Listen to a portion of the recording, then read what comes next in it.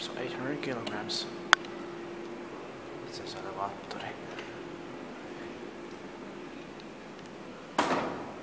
Let's take a ride on it.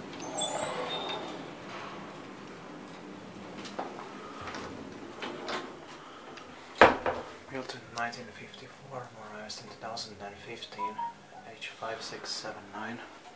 But I think this elevator is even older.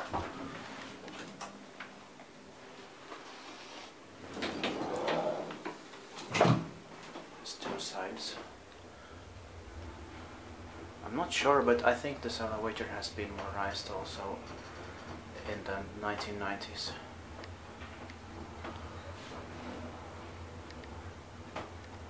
The doors are really beautiful, but those buttons are not nice.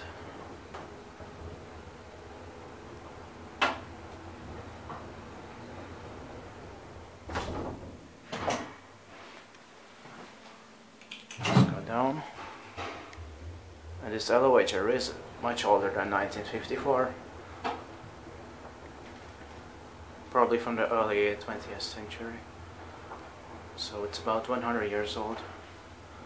I don't know, don't know exact year when this building was built, so I'll have to check that up.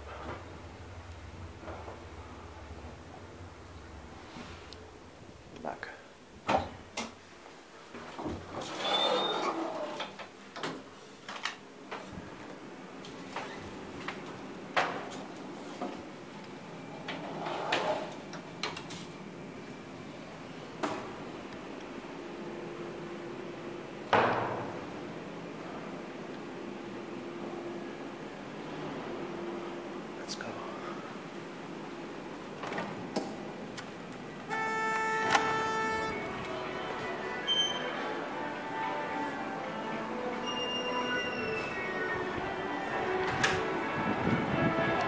Number 44.